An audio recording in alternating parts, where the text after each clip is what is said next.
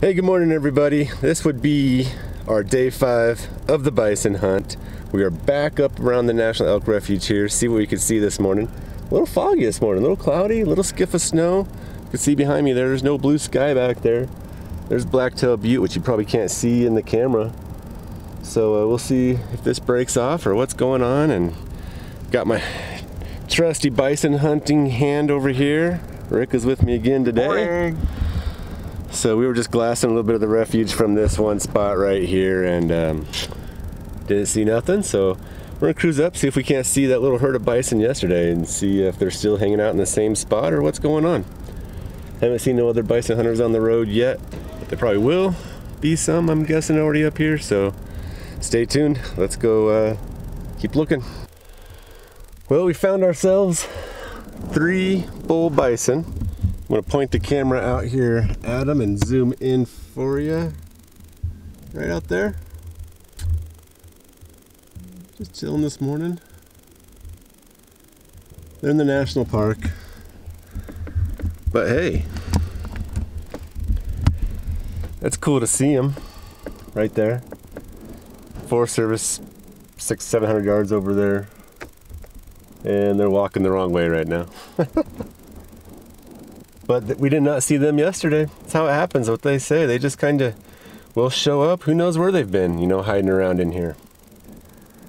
But I also know the other hunters have probably seen them today.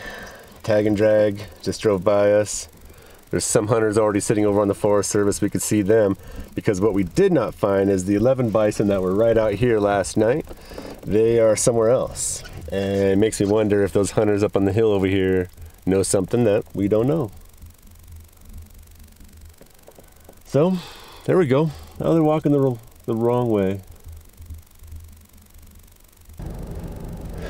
Well, so far this morning, there's four bulls sitting off of this road that we spotted here that, you know, who knows where they came from or how long they've been in here.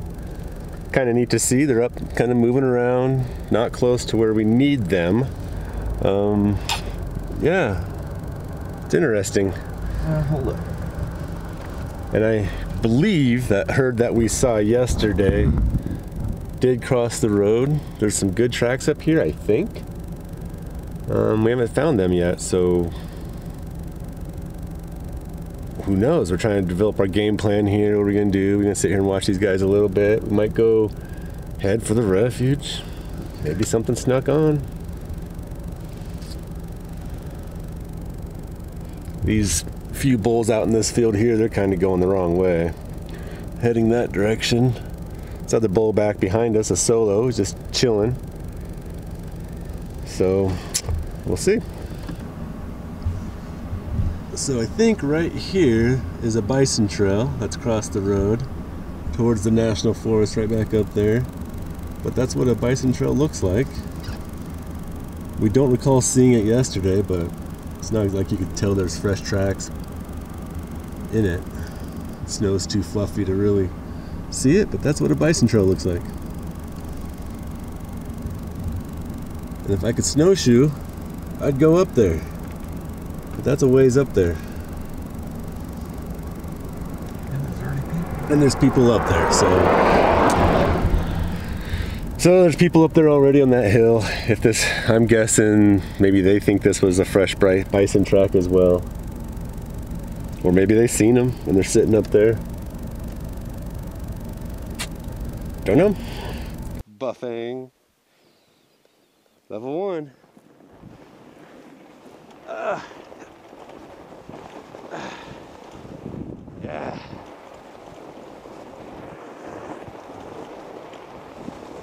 Here we go.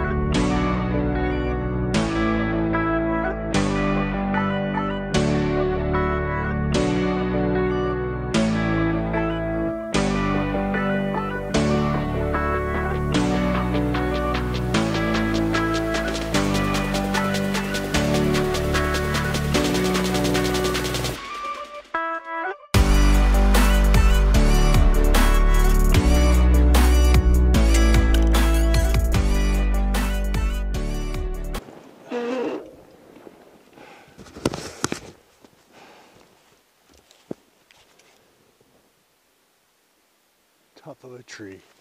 Tree gets me every time. Ah.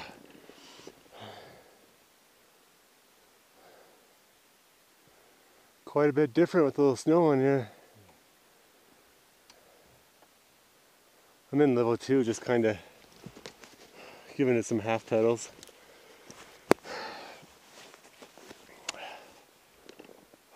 Ooh, my whiskers are icicles. Ooh.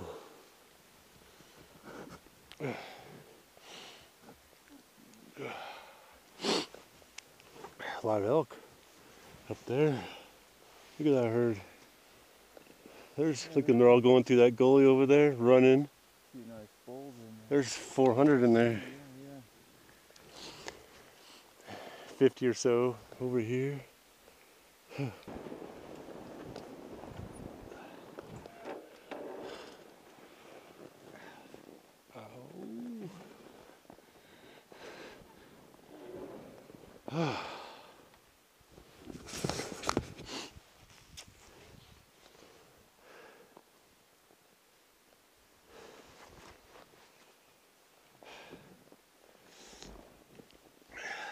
Don't see any with the naked eye.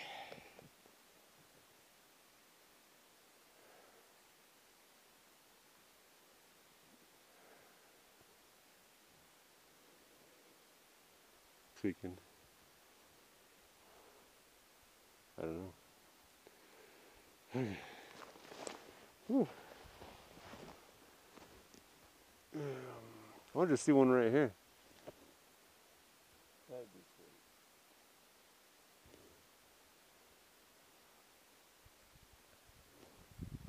Sneaky buggers. Any place down this flat. Huh? Any place down this flat. Yeah. It'd be a fun sneak. What would you do if you saw one out there? Maybe come up around this little hill and humpbacks around or up that little thing. They're out there. No, it looks like it goes on around there. Well, I think there's these little humps through to that ridge. You could sneak up the road and come back across them instead of straight out. I think that's what I would do. Or like I said, you could go around this hump, up the hill, back down the ridge. Well, all right. Let's see how the snow is up the hill.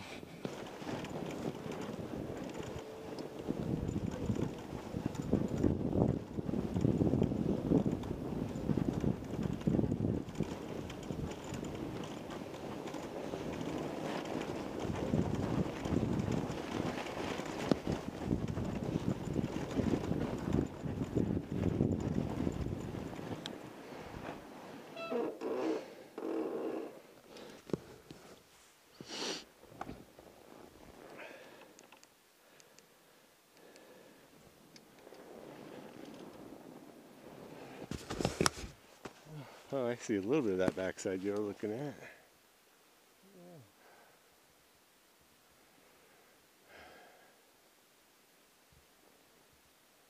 I didn't really see much for tracks across there.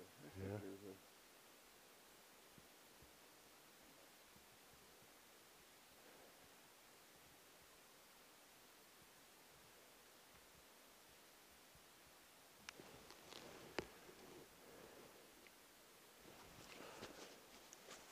Are you looking at?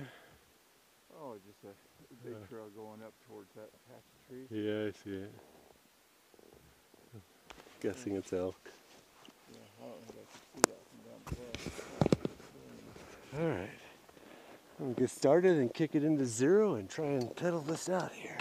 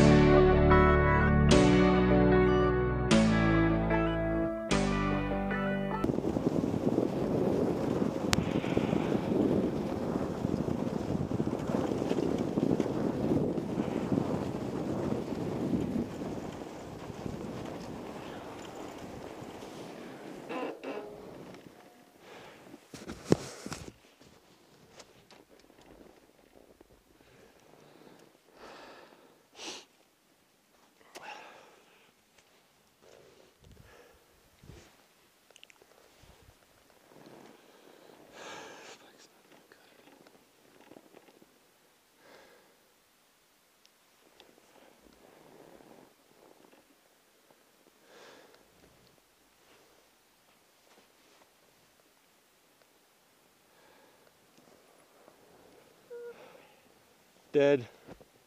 Are you serious? Yeah. This bike's not going to cut it anymore. Yeah, Damn it. pedaled quite a bit coming down, and I worked from two to three bars, so I actually gained. Yeah. I was only using level two. I was hoping that would help. Huh. This is the farthest away so far. Like, what the hell? Yeah, what? I had a lot when I left the mountain. I was half. Huh. Well, yeah, it just doesn't seem right. Uh-uh. This is a long ways away still.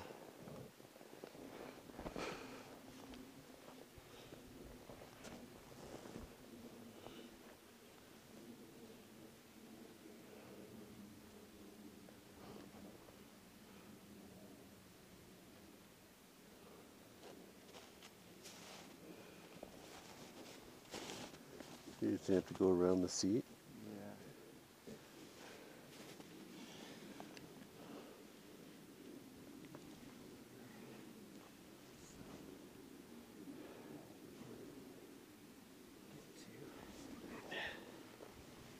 Yeah, 'cause you got shows you half a battery.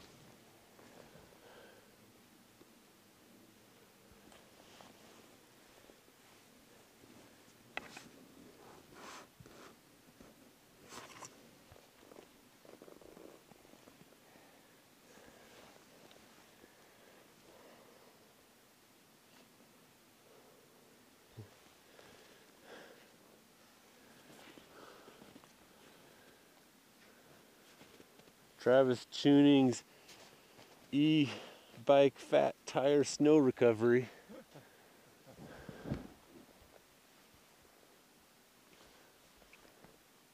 Hope that don't get caught up in the spokes down there. Yeah. I don't know if towing it will just make it easier for you to push, or if you able to get on there, or do you even want to try pedaling?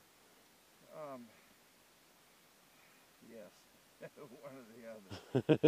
it's, it's just like a normal bike. Just keep your handlebars straight forward.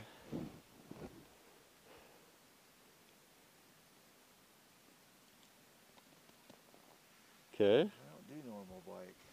Want me to get out in front a little here? It's a lot of rope. Yeah, maybe you could just kind of, well, that don't make sense to hold on to it. So go Oh. ahead and uh, put some on. Whoa.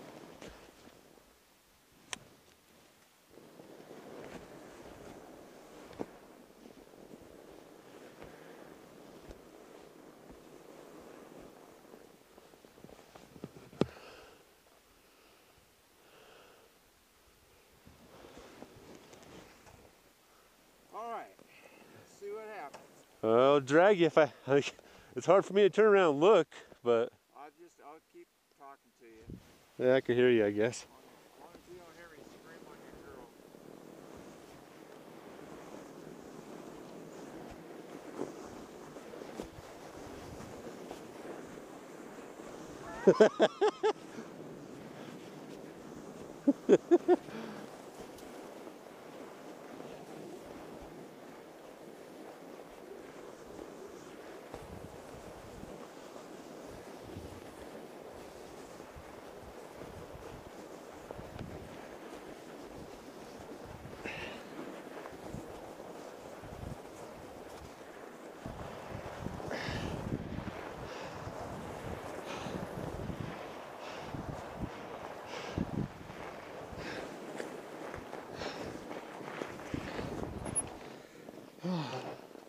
Fuck this thing. Huh.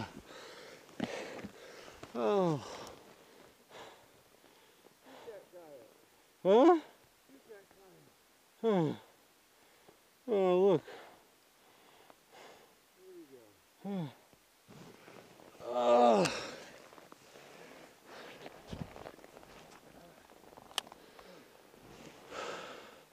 Still says this thing has a little bit of juice, but it was blinking on the last bar. It don't like pulling.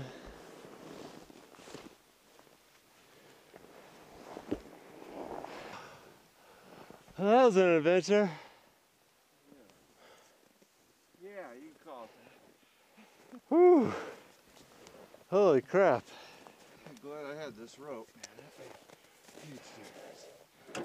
man. Yeah. well, quite the adventure that was. Just, my e-bike died maybe a mile away from the parking lot here. We got a rope we tied from the two-wheeler e-bike to the three-wheeler e-bike. Rick pedaled the three-wheeler one. It's hard to pedal that one, we made it. But whew, we are exhausted. Time for a milkshake, maybe. All right, we're gonna swing back around, check on those bison before we head home today. See what's going on that way. I think I got some frozen whiskers. Well, all right, guys, thanks for watching. This is our end of our hunt today. We're just taking one last trip out here around Kelly, just kind of glassing the hillsides and stuff, seeing if there's any bison coming.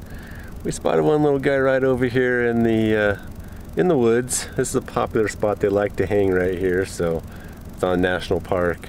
Right here with the Grand Teton behind.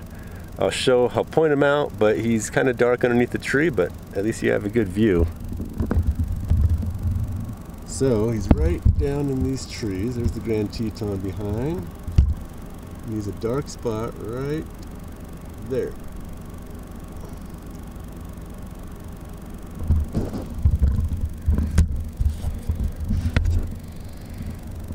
And he's just chilling there.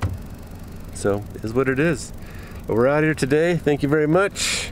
Hit the subscribe button, the notifications, and until the next hunt, um, don't know when that will be. But till next time, we'll see you later.